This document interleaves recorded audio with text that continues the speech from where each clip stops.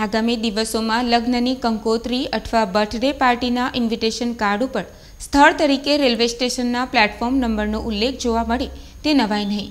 કારણ કે રેલવે મંત્રાલય દ્વારા આવા કાર્યક્રમો માટે રેલવે સ્ટેશનના પ્લેટફોર્મ ભાડે આપવાનું નક્કી કરાયું છે. દુનિયાનો સૌથી વિશાળ રેલવે નેટવર્ક ધરાવતી ભારતીય રેલવે આવક ઊભી કરવા માટે સ્ટોલ ભાડેથી લઈને રેલવે ટ્રેન ભાડે આપવા સુધી તૈયાર છે. તેમજ જાહેરાતો દ્વારા પણ આર્થિક કમાણી ઊભી કરવામાં આવી રહી છે. આમ છતાં પણ રેલવે મંત્રાલયને આર્થિક તંગી રહેતી હોય છે. હવે આવક ઊભી કરવા માટે રેલવે સ્ટેશનના પ્લેટફોર્મ, લગ્ન, બર્થડે જેવા સુપ્રસંગ પ્રસંગ કે ગેટ ટુગેધર માટે આપવાની તૈયારી કરી દેવામાં આવી છે. વડોદરા રેલવે ડિવિઝન દ્વારા આ માટે મકરપુરા, વિશ્વામિત્રી પાછવા ગોધરા, વડોદરા ઉપરાંત ભરૂચ જિલ્લાના અંકલેશ્વર રેલવે સ્ટેશનનો તેમાં સમાવેશ કરવામાં આવે છે.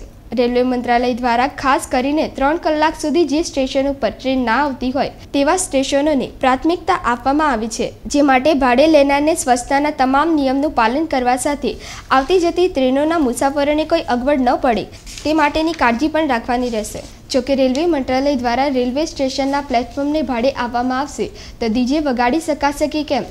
અથવા વરઘોડા કાઢી શકાશે સહિત ફરાસખાના દ્વારા મંડપ અને કેટરિંગ માટેના કયા નિયમો અમલમાં મૂકવામાં આવે છે?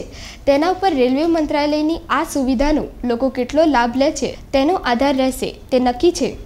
પરંતુ રેલવે સ્ટેશનના પ્લેટફોર્મ પર હવે ટ્રેનો જ નહીં, જાનૈયાઓ પર વર સાથે આવશે. તે કલ્પના પણ કંઈ ઓછી રોમાંચિક નથી.